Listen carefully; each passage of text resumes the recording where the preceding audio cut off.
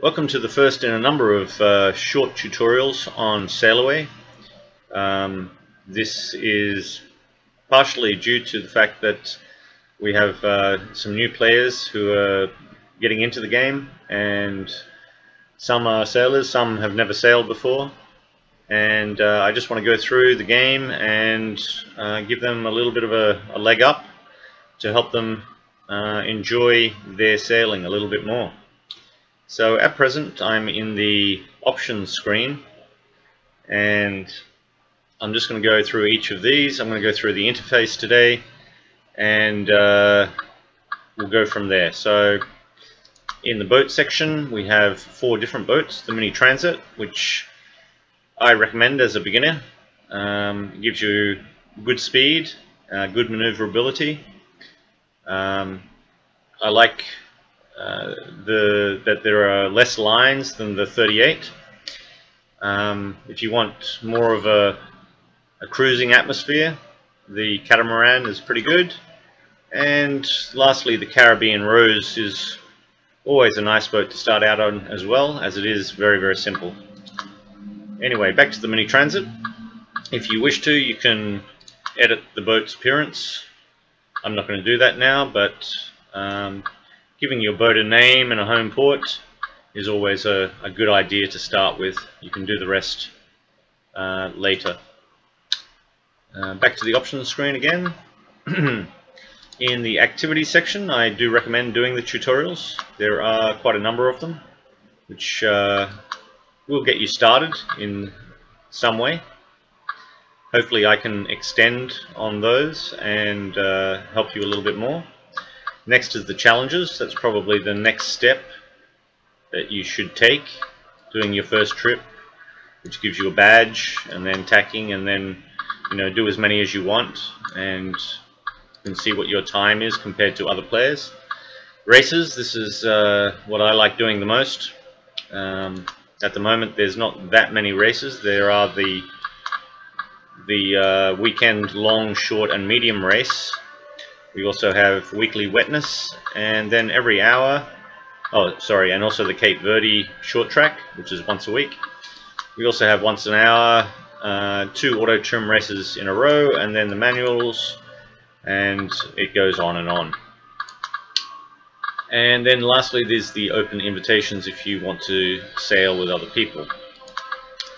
Uh, the options section, well, I'm not going to go through account, audio, or video. You can look at those yourself, fairly self-explanatory. The gameplay one is uh, is one that's pretty interesting. Um, obviously, English auto sail uh, basically means that you don't have to do anything except for just steer the boat, and all of the sails are, are done for you. Uh, for some people this is a good way to start because it allows them to just maneuver and uh, find speed in different directions and note how the boat does different things. In uh, beginner and basic mode and maybe also advanced, let me just check for a second.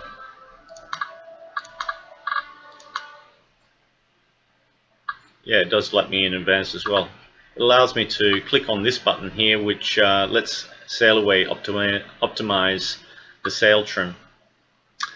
I, uh, I usually run in uh, expert mode but I think for people that are just starting out picking any of you know the auto sail beginner or basic maybe even advanced uh, you know gives you a lot of uh, a lot of information because in the auto sail mode as I was saying before you get to see the sails being changed. In beginner mode uh, they don't give you access to all of the sheets. A sheet is a rope which controls the the sail uh, and you get as you go up each level you get more uh, control of more sheets.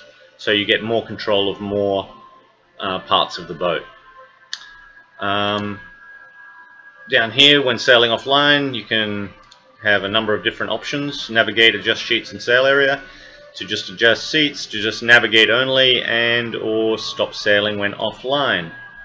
Uh, I like my boats to move around. I often just have it on navigate and adjust sheets. Um, you can get emails or you can turn them off completely um, and then just the, the depths and whatever else. Uh, some people like to up the zoom speed for the map. Uh, be careful when you're using the map. If you do it too quickly you'll find that there's a little bit of a map bug at the moment. It turns a little bit white. So anyway, back. Um, let me go to options again and we will go into uh, beginner mode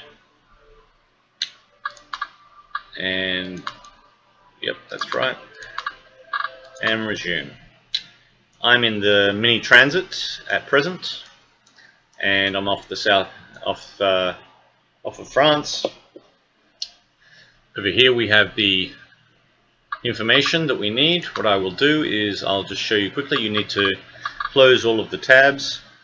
Uh, you can pull it in, pull it out, and you'll actually get a larger um, screen there. You can also uh, click the down button here, which allows it to become a little bit more translucent. I point it there. Uh, the white sky on the white background. I wish that we could actually uh, change the color of these someday. Then we have obviously the map and you zoom in and out just by using the mouse scroll button there. Um, we can also set up waypoints and I will show you that in a, in a, in a later video. On our GPS here we have a number of, well quite a lot of information actually. Um, as a beginner you don't really need to know too much about this to begin with. Um, I will cover it more when I'm looking at racing and also when I'm setting up waypoints. Trim is a very important tab to look at. Uh, as we don't have any sails up at present, there's nothing showing here. So, let's have a look at these wheels and what they tell us. So, just by mousing over it, you can actually see, or it gives you a, a help pop-up to tell you what's, what's going on. So we've got speed, speed over ground, uh, your course over the ground, which is often different from your heading depending on uh, current and uh, the motion of the boat. Uh, the leeway motion means that uh, you know the boat's being pushed by the wind, uh, obviously in a certain direction. Your TWA is your true wind angle. This is very very important. Your AW, AWA is your apparent wind angle. Um, you can look at the tutorials or you can uh, read online about the difference differences between these. Your true wind speed, which is um, pretty important, and your apparent wind speed, which is the difference uh, between your boat motion and uh, what the true wind speed is. Okay, I now want to talk a little bit about uh, the map itself. Um, having a look at some of these different uh, pointers here. We have TWD, which is our, our true wind direction, and at the moment it's coming straight down on us. Uh, we have the COG, which is the same as the course over ground here, uh, which is pointed in this direction.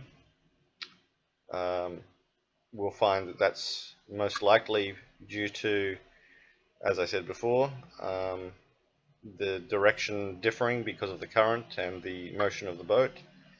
We have the bearing to waypoint, the BTW, it's a little hard to see on this map.